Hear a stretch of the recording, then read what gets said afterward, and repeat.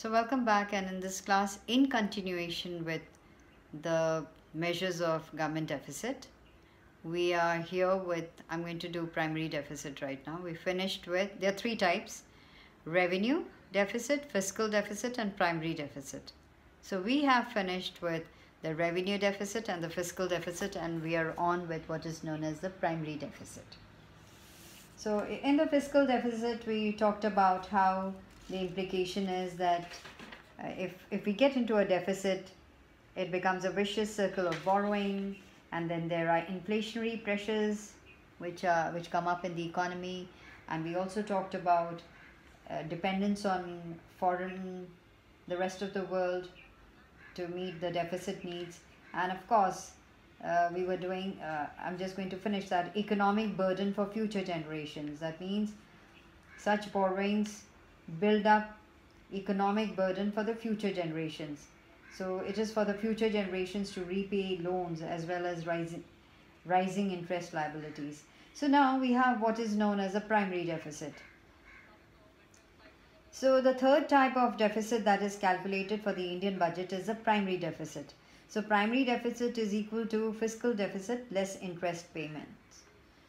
So now what is the significance? So primary deficit indicates how much government borrowing is going to meet expenses other than interest payments. That means high primary deficit indicates fiscal irresponsibility of the government.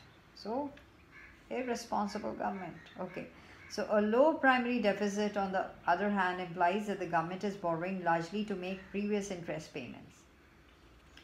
Now, uh, talking about all this, the three types of revenue deficit, fiscal deficit and primary deficits, and we have made a distinction between the three on the basis of meaning, indication and the formula. Now we are going to talk a little about financing these deficits. How are they financed? What does the government do to finance these deficits? Number one, monetary expansion. Deficit may be financed by borrowing from the country's central bank.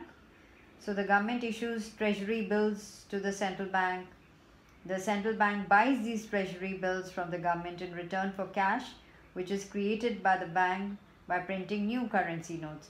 This is called deficit financing. The government uses this money to fund its deficit. So that's one. And the second is, okay, I'm going to show it to you. So this is how we do it. And the second is, so first was monetary expansion. Second is borrowing. The budget deficit can be financed by borrowing from the domestic sources, for example, public and commercial banks, and external sources, that is, foreign government, World Bank, and other international financial institutions. So, another uh, you can finance or the government finances the deficit by disinvestment. So, it may choose to sell its share in public sector undertakings, sell, sell its share of the PSUs. And then you have what is known as a fiscal discipline. The government deficit can be reduced by an increase in taxes and reduction in public expenditure.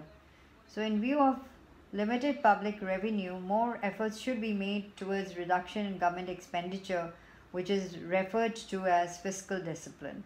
So, we should not spend more, the government should not spend more and should be a little more disciplined in its spending.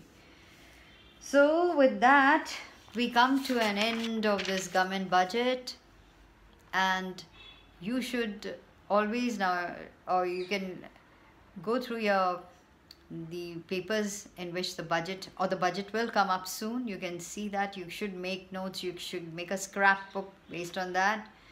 And you or you, the budget that has gone by you can see that. It's so interesting. Once you know about this you know about the theory then practical becomes much more interesting. So that is a good homework for you guys out there